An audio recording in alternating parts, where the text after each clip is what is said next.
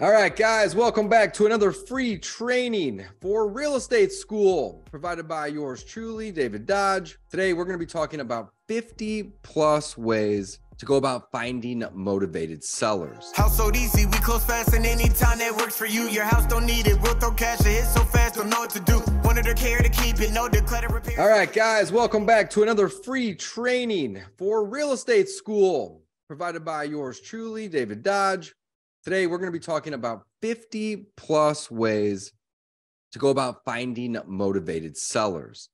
When we are in the real estate investing business, doesn't matter what exit strategy, right? Doesn't matter for wholesaling, if we are trying to fix and flip or buy rentals for our rental portfolio, we still need to, to find motivated sellers so we can get good deals to acquire those properties, right?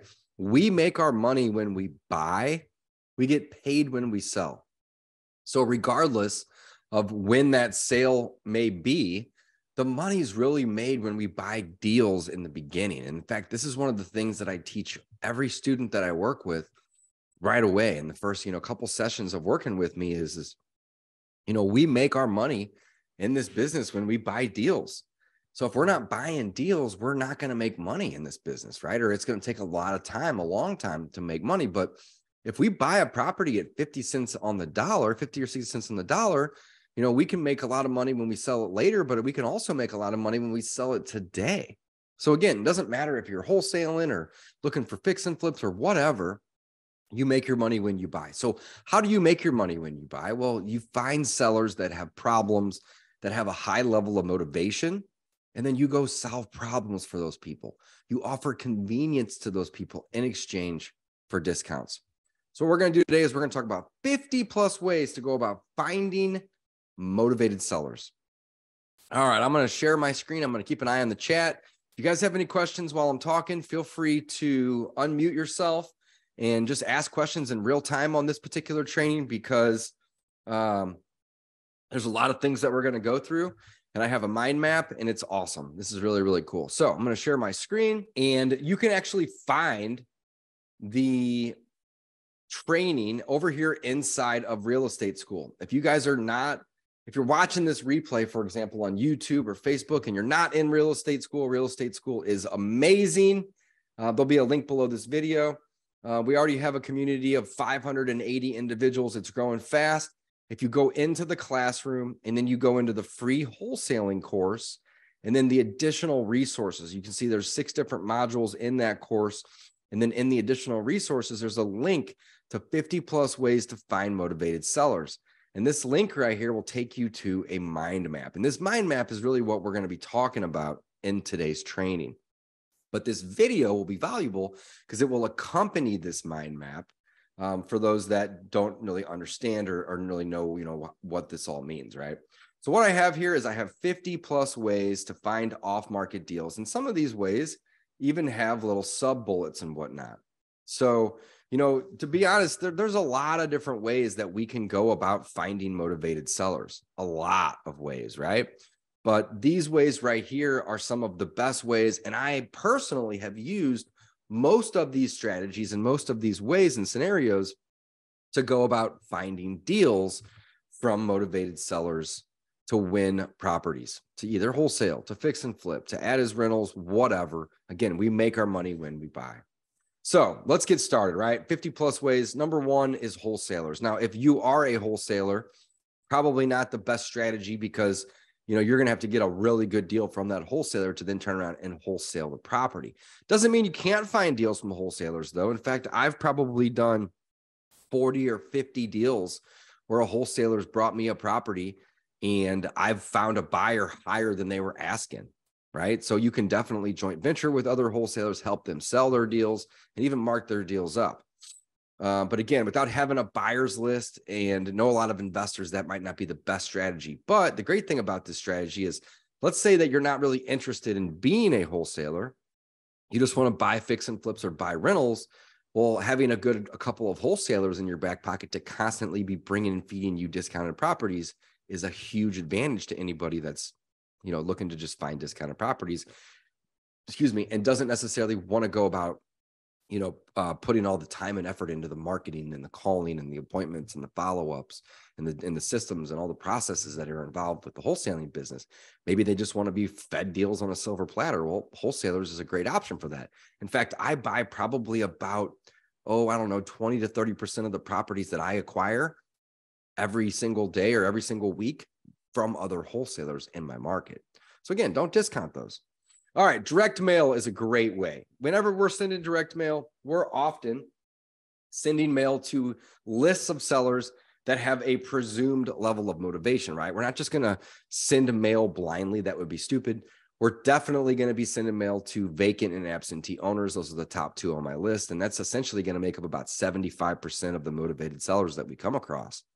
Um, we're also going to send to high equity people that recently had a divorce, people that are having that dealt with death recently via probate, uh, people that are having to deal with evictions, right? Those are those landlords, you know, maybe tired of landlording.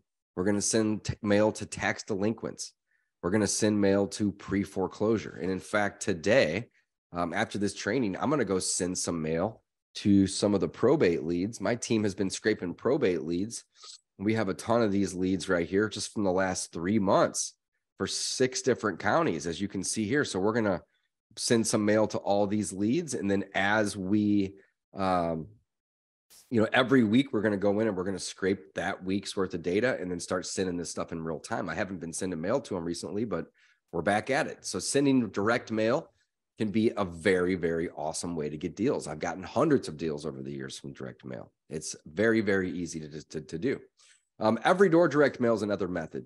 And this is basically done via USPS. And you can essentially select a driver's route or a mail carrier's route. And for a whole lot cheaper than sending mail to every door on that address, you can have the mail carrier deliver a postcard or a letter. Typically, it's a postcard or an oversized postcard to every door on their route. So, again, you can learn more about that at USPS.com.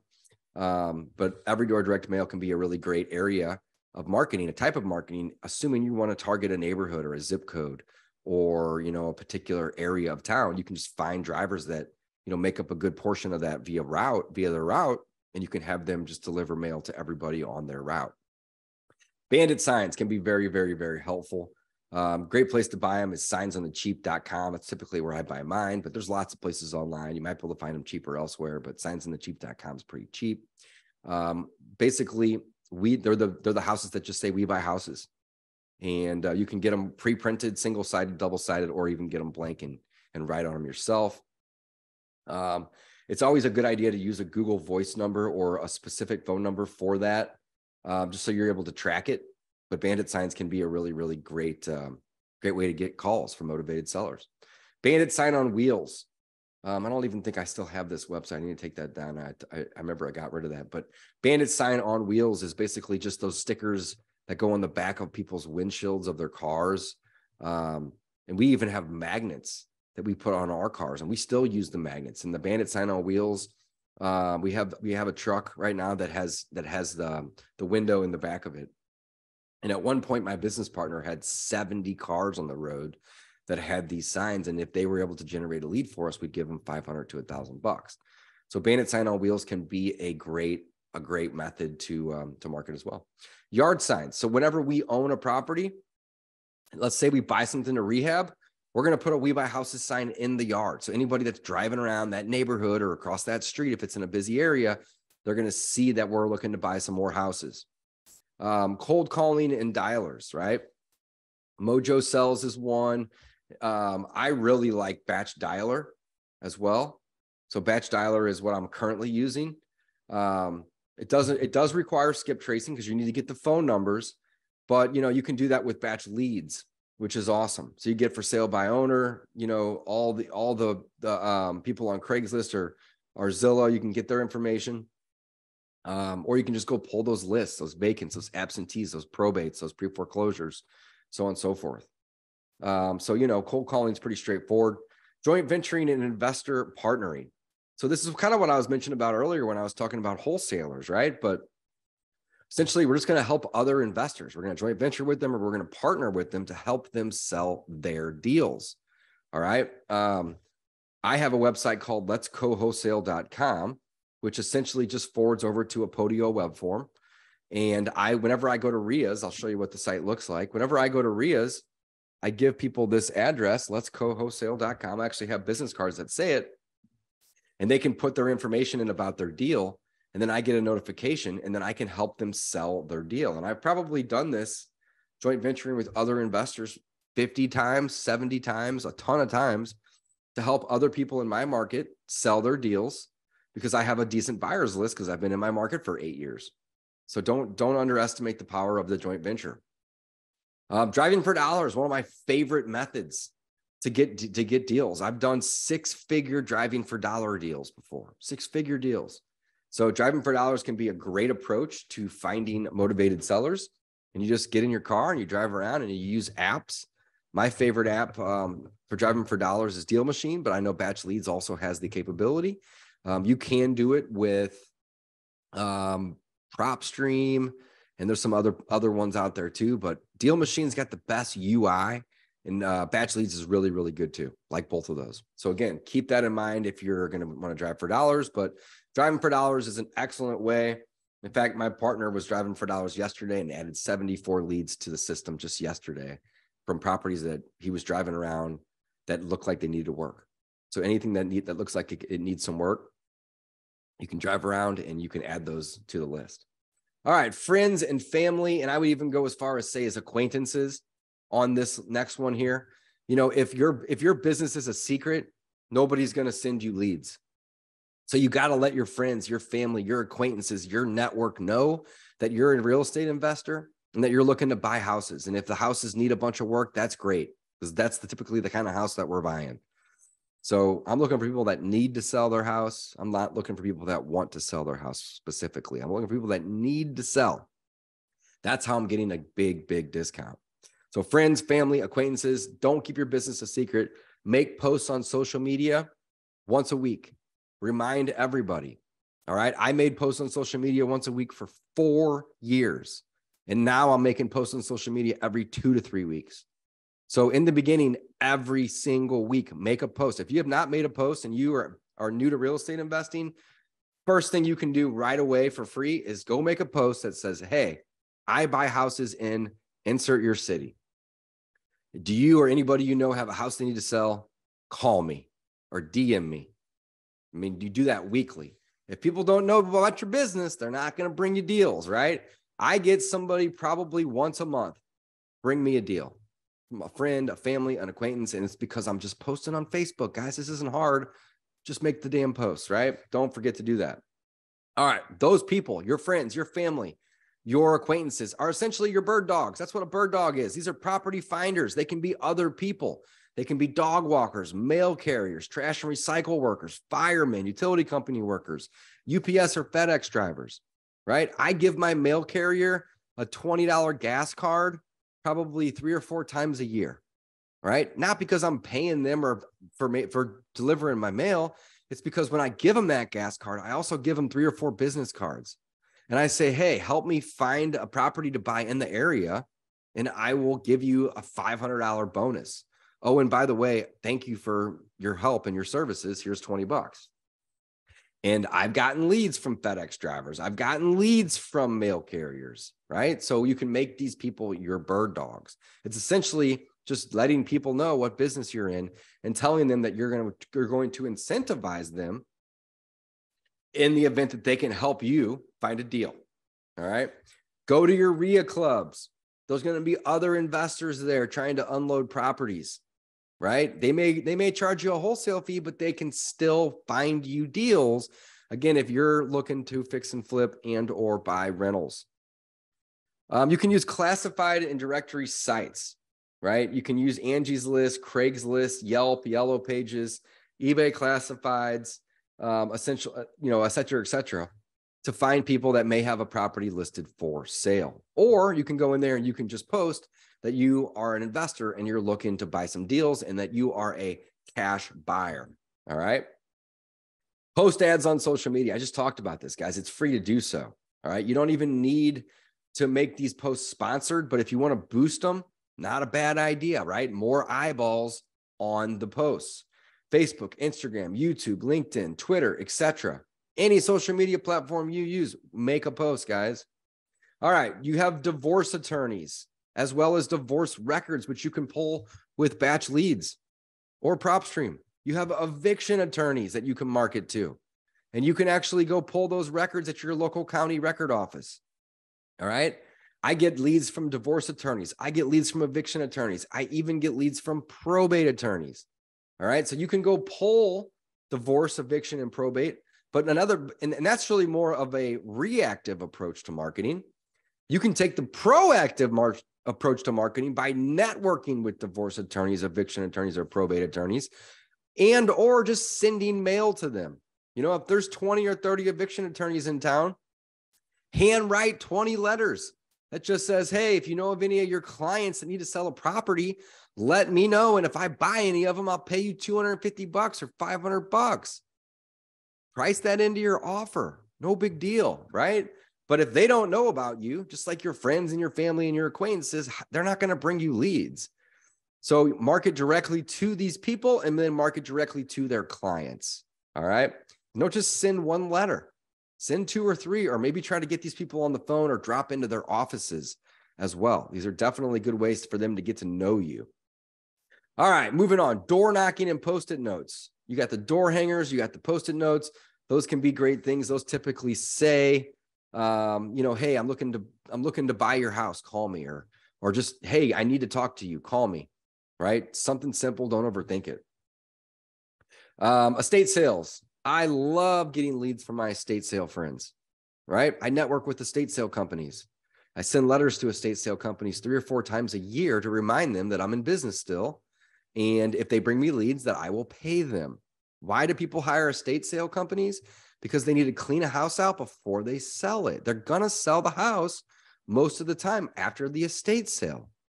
What better way to get motivated seller leads directly from the estate sale folks, right? So network with these people. When I first started out in this business, I called every estate sale person in my town and offered to buy them lunch.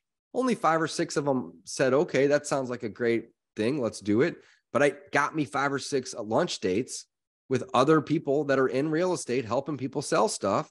And I get leads from all of them all the time. And I constantly follow up with them every four to six months and remind them that I'm still in business. And, you know, if I haven't gotten any deals from them recently, I'll offer to buy them lunch again, right? You got to network. You can't just send one postcard and expect to get deals. You got to actually truly build relationships with these people, right? So, all the attorneys, all the state sale folks, build relationships with these people, right? once you have yourself a bunch of good relationships, you don't even have to necessarily have a bunch of paid advertising. These people can bring you deals, but you have to make sure that they continuously know what business that you're in so they can bring you deals. Stella has a comment here. It says, I'm stuck on which account I should be posting. I have two accounts, a personal and a business. Do you have only one account? It doesn't matter. Post on both. They're free to post on both. On your personal account, you can't boost your posts on Facebook, but on your business account, you can. So there's pros and cons to both of those, but it doesn't cost you a dollar to post on either one of those, Stella. So post them on both, right? All right, neighborhood associations, right? You can call your local HOAs all around town, find out who the HOA presidents are, call them up. Usually there's a way to find them online and ask them if there's anybody that hasn't paid their HOAs in six months or 12 months or two years they're going to typically be pretty upset with those people. They're going to want them out of their neighborhood. And whenever you go buy the property from that person, the HOAs are going to get caught up. So it's a win win. And they'll often give you the name and the phone number or the address of the people that owe them money. So HOAs can be a really, really great resource. Bank takebacks. All right. These are going to be the non performing asset departments within a bank. So call a bank, ask them if they if you can talk to the non performing asset department they're going to have properties. Sometimes they auction those properties off, other times they just list them. And sometimes you can get in and you can make offers on them before they get listed, or at a minimum, you can be notified when they're listed so you can make your offer to the agent. These are basically houses that banks take back in foreclosures, right? They have to do something with them. Banks aren't in the business of keeping, fixing, or renting houses, they sell them, right? They're in the business of collecting money and lending that money. You got mass media advertising. Now, this is obviously going to be the most expensive type of marketing, but if you don't have a ton of time and you want to have a true business in a, in a big business, these are great options. You can you can get advertisements in newspapers, billboards, radio, television. Um, all of these are great ways. And you know, just because you're going to be using one of these methods doesn't mean you have to spend 10,000 a month. I know people spending 500 to $1,000 a month on billboards and they have multiple billboards. I know people spending $300 a month on radio ads in a small, small town. Now, obviously, you're not going to get an ad played every hour at $300 a month, but you might get two, two or three ads played a day, right? So you don't have to necessarily have tens of thousands of dollars to use mass media. In bigger markets, it's going to cost more. I mean, it depends on the on the size of the audience, right? So just keep that in mind. You also have local business advertising, right? You can you can do shopping carts at grocery stores. You can do DMVs. DMVs now have TVs with ads on. You can advertise at car dealerships, right? Leave business cards behind whenever you go to restaurants and they have the tack boards near the restrooms.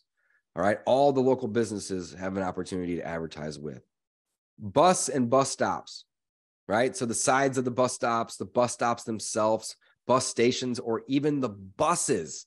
Sometimes you can get advertising on the side of a bus. I know a lot of the personal injury attorneys in my town use the buses because they're basically mobile billboards. They're the same size as a billboard. Think about a bus, right? And they're driving around town all day, every day. So get on the side of some buses. That can be a great way to get your name out there. Park benches. You know, you can typically get advertisement on a park bench for anywhere from 20 to $40 a month. So it's really, really cheap. So I know some people will go and they'll do 20, 30, 40, 50 park benches at a time, and they'll run campaigns for four to six months or longer. All right. So you're going to pay, but you're going to get your you're going to get your number out there. To get your website out there. To get your business name out there. You got money mailers and coupon books. All right. Audience is going to vary with each of these, and so will the price. Depends on the market. But those are going to be a great way to, to get mail sent to people, you know, in bulk for much, much cheaper. You might be able to hit a door for three or four cents versus 40 cents or 50 cents. Right. So money mailers can be a great way to get your, your name out there. Overlooked properties that fall out of contract. Um, you know, contract contact the agents of pending properties and, and make sure that they're going to close. And if they don't, tell them that you're interested in buying the property. You can contact um, the sellers of those same pending properties.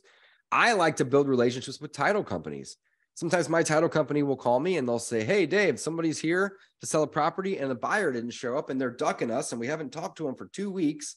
And we told the seller that we weren't able to get a hold of the buyer, but they still wanted to come to closing. And now they're just sitting there. No one's going to be here to buy the property. Oh, and by the way, their name is Tom, and here's their address, and here's their phone number. Great. I'll call Tom and tell him that I'm interested in buying his house. Probably can't pay him what that other buyer that didn't show up is going to pay him, but I can at least make an offer. You can host your own meetup group. If there's not a meetup group in your town, start one. If there are meetups in your town already, so what? You can start one, right? These are essentially called REIAs, um, re- real estate investment associations, right? So you can go to meetup.com and you can start it, start it.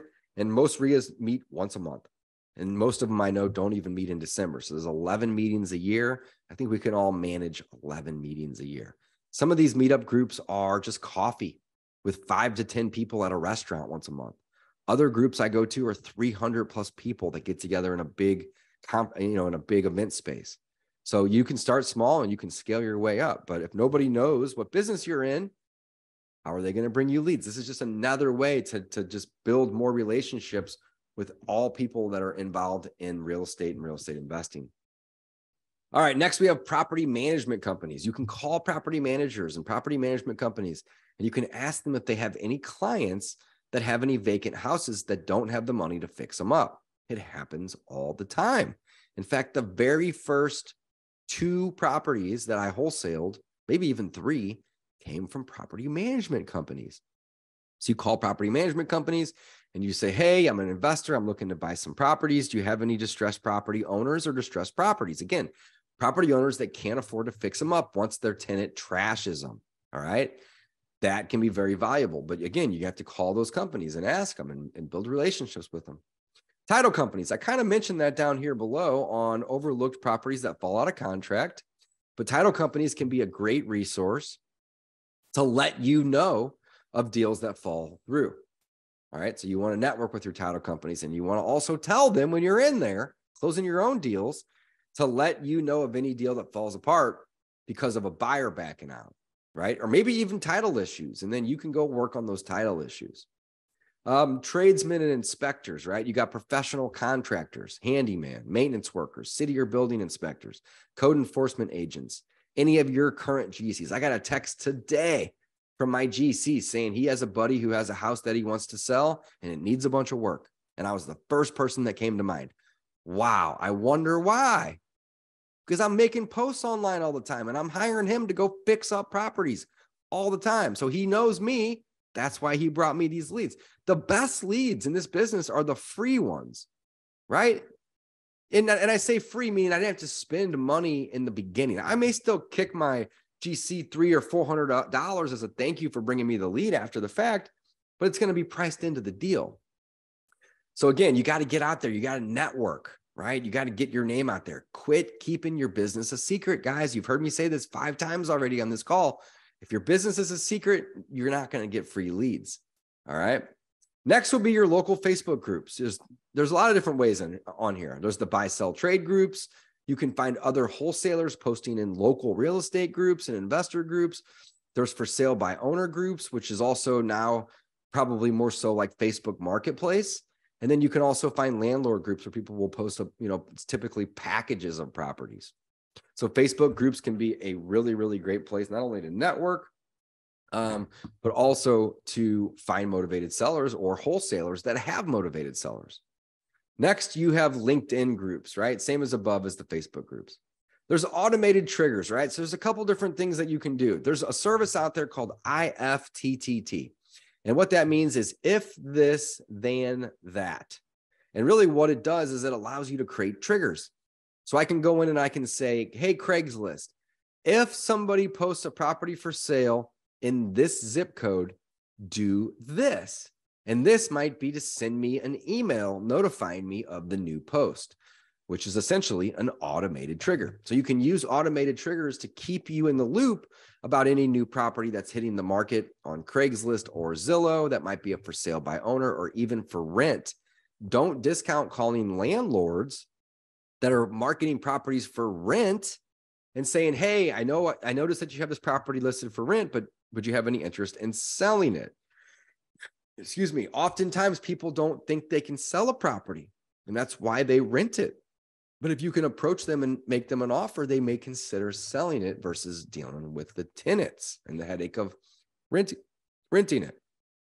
So automated triggers can be a great way. Hard money lenders, right? Sometimes hard money lenders have to take back properties when they lend to people. Other times, hard money lenders may lend to a borrower and the borrower runs out of money. They don't have the money to fix it up and they have to exit the deal as the only way to pay the lender back. So network with hard money lenders, and you can meet a lot of hard money lenders at your local meetup groups or REIA meetings. Again, go to the go to all of them. Maybe even considering starting your own, especially if there isn't any in your neighborhood already. Professional services, guys. This list could be a mile long. Here's just a couple of them, right? These people are all involved with real estate typically appraisers, bankers, accountants, insurance agents. Come on, every property's got insurance on if there's a loan. So, you know, sometimes your insurance agent might know people that are, you know, have rental properties that are vacant or just properties that in general that they need to sell. All of these things. I've gotten um, leads from most of the people on this list right here. But again, this list could be a mile long. Anybody that's in real estate, survey companies, you name it, right? These are professional services. They can bring you free leads, assuming they know what business you're in. So quit keeping your business a secret, guys. This is really the, the name of the training today. It's not 50 plus ways to find deals. It's quit keeping your business a secret.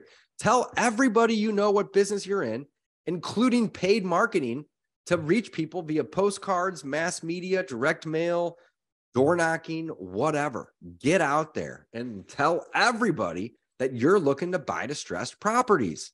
It's the only way you're going to start getting leads. You got to pay for the marketing or spend time doing the networking. It's one or the other. So, one of the first things I typically ask new students is, What's your marketing budget? And I break it into two parts time and money. How much time are you going to commit? How much money are you going to commit? And the great thing is, is that you don't have to have a ton of money. You know, typically you're going to need at least 500 bucks a month to, to pay for systems and softwares and stuff like that. But that's probably the minimum that you need. But then you're going to need to have two or three hours a day or more to, to, to get out there and do the networking. If you don't have two or three hours a day, that's fine. You're going to need to have a money monetary budget to, to do some sort of marketing, right? So I typically tell people 500 in two to three hours, or let's say you maybe only have two to three hours every other day or every three days. Well, then you're going to need to have 1500 or $2,000 a month in marketing. Again, nobody's going to call you if they don't know you can help them.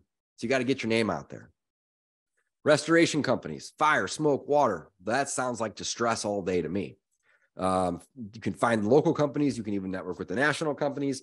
Hop in, show up at their office, give them a business card, offer to bring them some coffee or buy them lunch, right? Give them an incentive to want to call you.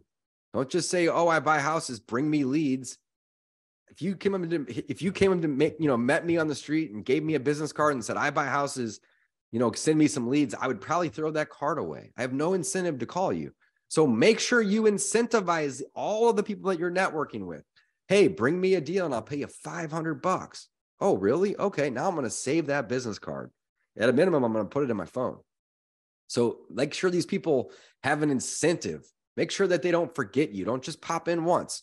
Make it a routine to network with people and build relationships. I can't stress this enough.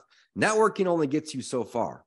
But really, what networking does is it gives you the opportunity to go build deep relationships, long lasting relationships.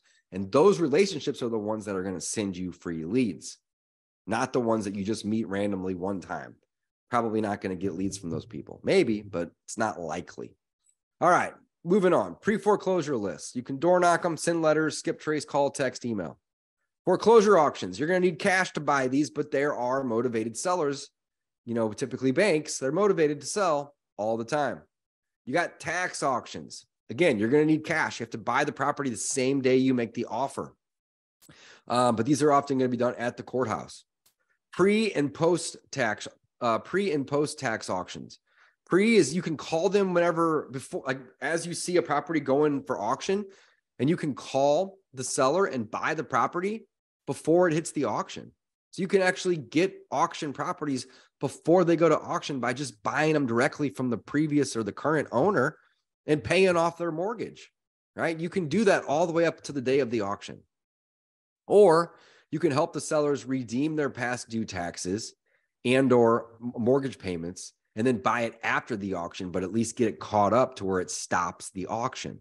So you either have to pay off the loan or catch the loan up in order to get rid of the auction. Google search for open record requests. Um, that, that can be a great way to um, to find sellers that just have clouded titles. Um, you can do YouTube commercials. Now, this really goes for any social media, right? You can create ads on Facebook, Instagram, Twitter, LinkedIn, YouTube. YouTube would be video commercials versus just versus just you know stills but you can use those same videos on youtube as all the other social media platforms and if you want to do a paid you know, paid posts or ads. The great thing about uh, social media ads is you can target very, very, very specifically. So, you know, you can only run ads in a certain city, zip code, municipality, county, and you can make sure that the people that you're running ads to are have a high likelihood of needing to sell a property, right? So that can be a great way. Um, you can do a website and then SEO to that website. You can do blogs, landing pages on on-site SEO keywords, optimization to get traffic to your website so they fill out a form or they call you. Once you have yourself a nice website, you can do pay per click marketing. You can do this on all social platforms as well as Google. All right. This is some of the best ways to get highly, highly motivated sellers. It's going to, you're going to pay. I mean, we typically pay about 150 bucks a click and up to $300 for a single lead on Google AdWords but we typically only need 10 leads to get a deal. Right. So, I mean, we're typically paying about 2,500 bucks to get a deal, but the average deal we do makes us 10 grand. Right. So to me, it's just like, all right, let's spend the 2,500 to go make the 10. Why wouldn't we want to do that? But again, you're going to pay for the pay per click. It's that's in the name, pay per click. Once people click on your website, you're going to want to retarget them. So if they don't fill out a form or call your number, you can retarget them and you can essentially follow them around the web and, and do still banners to remind them that they were on your website recently and um, and that you're that you're here to help them. Social media bots, not necessarily a huge thing nowadays, but a couple years ago this was really popular. Um, not even going to dive down that rabbit hole. There's, they still exist, um, and essentially they can make posts for you, or they can go scrape social media sites and find people that have had properties for sale. The stunning open house strategy is another great method here, guys. This is whenever you are finishing up a rehab, specifically, right? You rehab the property, it's beautiful. You can invite all the neighbors, the local agents in town, um, any other local investors to your open house, and you can have, you know, cookies or sandwiches, sodas, bottles of water, basically just some small treats to, you know, to, to get them to come. Um, but really, while they're there, you're networking with them, you're showing them the quality of the work that you've done and we've used the stunning open house strategy several times with neighbors specifically to buy more properties on the street. Right. So we have a property that we bought. It was completely derelict and distressed, needs a ton of work. We buy it, we fix it up, we invite the neighbors over, and they say, Oh man, I can't believe this place looks like this does now. I mean, it was bad. And then we say, Yeah, we love buying houses that need work. Let us know when you want to sell yours.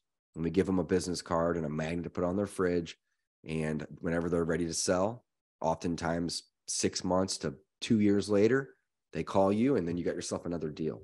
So, again, this is really much more specific to rehabbers, um, but it's a great, great strategy. We used it several times to buy properties. Send Christmas cards to all your contacts.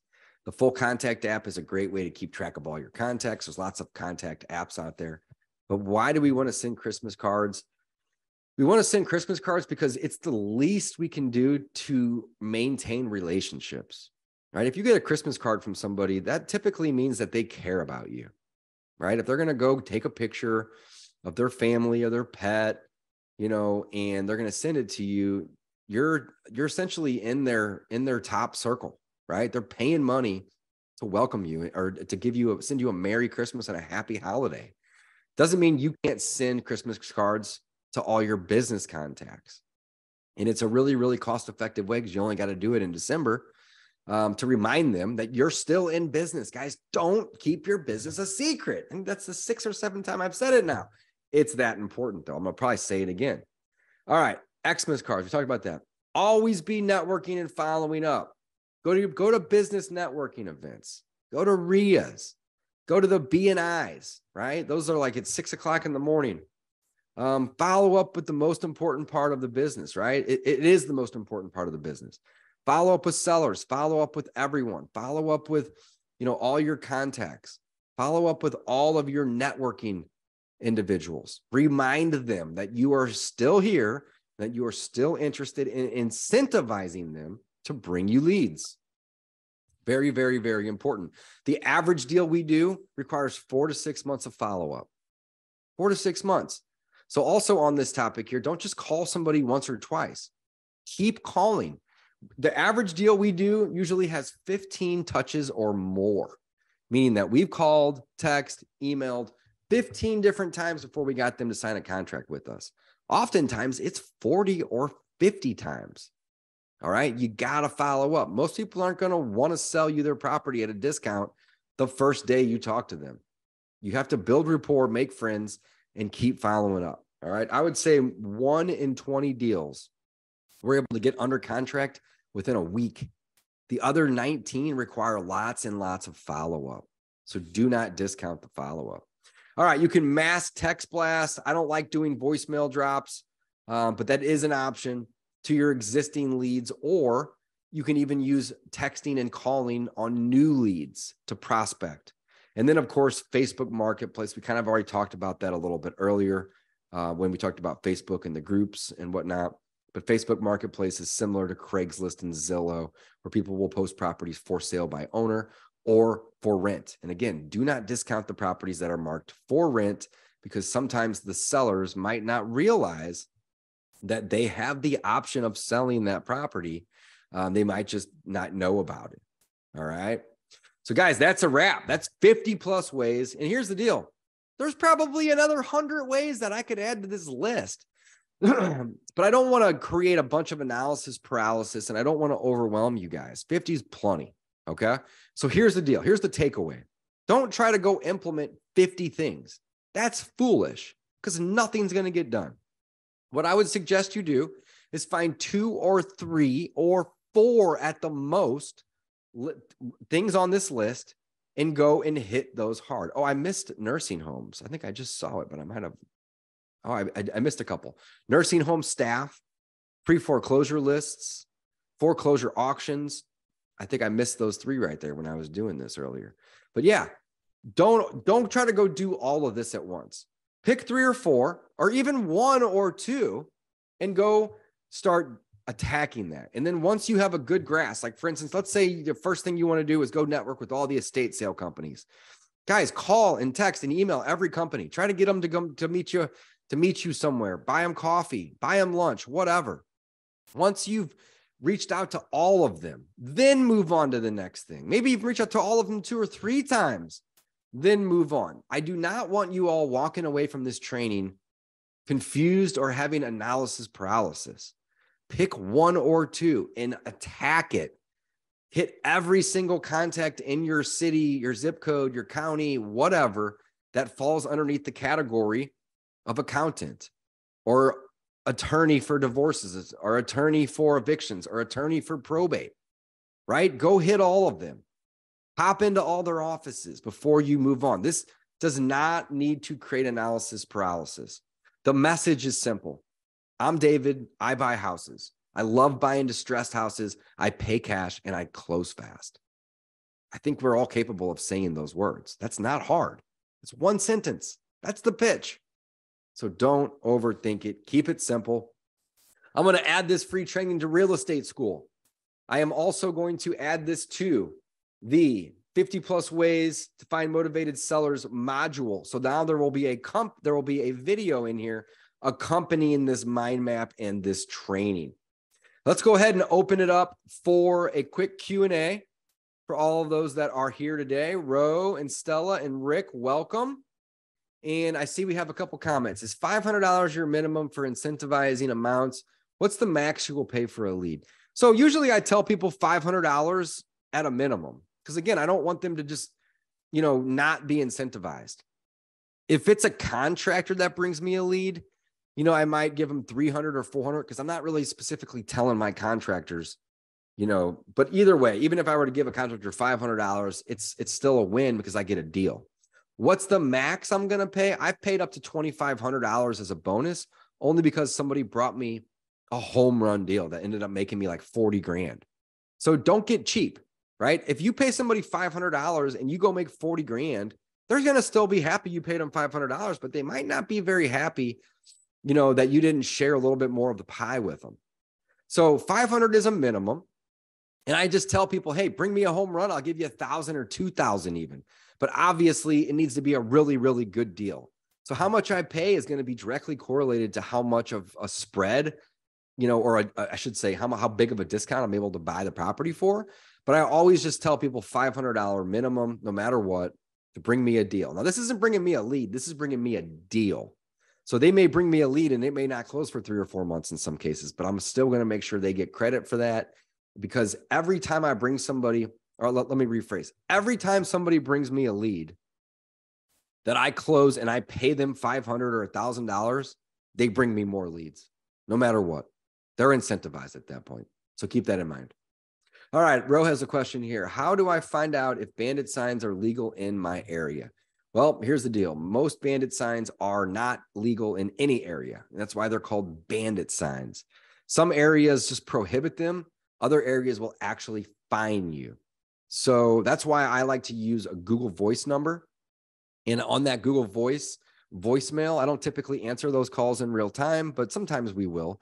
But on that Google Voice, I just say, Hey, I'm Dave. Thanks for calling. If you have a house you're looking to sell, give me your name, your number, and your address. I'm not typically leaving my business name. I'm not typically leaving a bunch of personal information. I'm going to make it hard for them to find me. If a code enforcement or a police officer does call me and they say, "Hey, you know, this is this is not allowed," then I apologize and I'll offer to take them down, or um, I'll just apologize. But I'm not typically giving out my personal information. If anybody asks what my business name is, I don't have a business when I'm using bandit signs. I'm Dave. I'm the business. All right. It's going to make it much harder for them to actually find you in the event that they are illegal. Um, but again, to answer your question, how do you find out? You call the local county, call the municipality that you live in, and ask them if bandit signs are are are, are a lead or illegal or you know what the repercussions are. They're most of the time they're going to sell you that tell you that they don't want them and they're not wanted even if they're not illegal. Um, so yes, that's if you want to call, go for it. Um, I've been using. I probably put out close to 5,000 bandit signs in my life, maybe more. And I think I've paid maybe $70 in fines total. So to me, even if it's illegal, the risk is worth the reward. I've probably bought in 30, 40, 50 houses from bandit signs, and I've paid $75 in fees on top of the cost of the signs. To me, the risk versus reward is there. Now, I'm not telling you all to go break the law by all means. Please don't take that away from this video. That's not my intent. That's not my MO. Um, but it's a great way to get leads. It's also a great way to sell houses too. If you're wholesaling, you can put blank bandit signs and write with marker on them, you know, around your property, you know, every intersection in the quarter mile radius of your property, just saying, you know, three bedroom, two bath, need to sell fast, call. Again, Google Voice can be your best friend when you're using bandit signs because it kind of hide, hides your identity a little bit. All right. Any more questions, guys? I got a couple more minutes, but uh, hopefully you all enjoyed the training. Do me a favor, drop a comment and let me know if you learned a thing or two and if you appreciate the training or or enjoyed it. I should say more so. I always like doing these trainings. I have fun. Uh, Rick says, David, I have been consuming your material like a hot knife through butter. Thanks for all you do. Awesome, Rick. I'm I'm really happy to hear that, man. I really appreciate you. Stella says, yes, thank you. All right. Well, thank you guys. I appreciate you. And with that being said, let's go ahead and wrap it up. I'll add this into the free wholesale course, additional resources. I'll add it into the call replays as well. Um, let's see here. What else do we have this week? It's getting late in the week. It's already Thursday, isn't it? Looking at the calendar, we have a virtual REIA meeting on Sunday at 6 p.m. Central Time. I would love to see as many of you there as possible. Love to use that opportunity to get to know you guys. Um, so hopefully you've enjoyed this training. Have a great rest of your day. Oh, Rose says, very good. Definitely enjoyed it. Rick says, do you have time for a quick question? I do. I have one more quick question time. Go, go ahead, Rick. Um, and Roland hey, says, by the way, what would you say about nursing home staff? Nursing home staff, you just got to get out there and network with those people. You got to, you got to meet the, it's not so much the staff, like the people that are doing nursing or cleaning or cooking. It's really more so the administrative office right? The administrator of the nursing home, the finance director. Um, these are the people that you're going to want to network with. The the placement agents specifically, also the office managers. Uh, go ahead, Rick. What you got? I have been chasing some pre foreclosure leads, and uh, for example, one of them owes like a hundred and sixty thousand. The property is worth three fifty. It's going to auction in three weeks and I can't get them to respond in any way, shape, or form. Go knock on the door. I did. oh wow. Okay. I could hear the dog barking, and the guy says, "Shut the f up," you know, but then never comes to the door. Um, so I just put a, a little simple flyer under the door that says, uh, "It appears you're having some trouble with the bank. I can help. Call me." Yeah, call me. Yeah, and if if and if they don't call, there's nothing you can do, right? You can only go so far. Yeah. Um, but you know definitely leave some stuff on the door and maybe even put a door hanger on the door two or three different times you know yeah, I, mean, I, had one you... uh, a couple weeks ago where i was actually able to get a hold of the ex-wife and she said yeah my husband's an idiot um, if you can get a hold of him i'll sign whatever you need there was about 250000 in equity and it actually wow. went for sale and sold on the courthouse steps unbelievable he would not respond um, yeah, also, some people are just, you know, some people are embarrassed. Some people just have too much pride. You know, some people just aren't aware that they can get that they can get, you know, some equity from an investor, and other people just don't truly believe that their house is actually going to get taken from them, and it happens every day. So, yeah, all I can say is just be be persistent. Okay, I don't I don't necessarily want to use the word aggressive because some people may take that out of context, right? But you got to be kind of aggressive in a way. Yeah, no. But don't be so aggressive that they're like gonna, you know, get a second or get a, a harassment, you know, case. Yeah, no, I'm, pre- I'm pretty right? chill. But the other one is I'm chasing some uh, probate stuff. And again, one of them is a six hundred and fifty thousand dollar house. He owes three eighty-five. He first got divorced, then filed for bankruptcy, then died. Oh, geez. Oh, wow. So yeah, are you are you calling the heirs? Well, the heir Or the has been uh, in and out of prison uh, rap sheet as long as your arm, including murder, uh, in Oklahoma. I'm in California, but uh, Send him a was my letter. Tell him you can tell him you can uh, fill his commissary account with 30 grand if you can buy the house. there you go. Okay. I mean, that's really the only thing. If he's going to be in there for life, only thing that's going to matter to him is commissary. Unless he has children, then Yeah. you can offer to pay his children or set up a, a trust account for some education for them or something. But either way, it's difficult to reach people in prison. You can try calling the prison and getting them on the phone, but your best bet is probably just to send a letter. And you should be able to find out where he's located on the Department of Corrections website. All the inmates, it's it's it's public information. Okay. Yeah, I've just been having a real hitting a real brick wall on both of these two different areas. Yep. No, uh, you're doing, I mean, everything you're doing sounds great. Just be persistent with these people. And, uh, you know, whenever you're, um, whenever you're trying to reach that pre foreclosure guy, for example, maybe leave a note on the door that just says, if you call me, I might be able to put 30 grand in your pocket. That's all you need to say. Keep it simple, you know? Okay, cool. So, David, I appreciate you and all that you're doing. Thank you so much. hey, you know, you guys have the rest of your day. Signing off. See you guys. House Household easy, we close fast and anytime that works for you. Your house don't need it. We'll throw cash, it hit so fast, don't know what to do. Wanted her care to keep it, no declutter.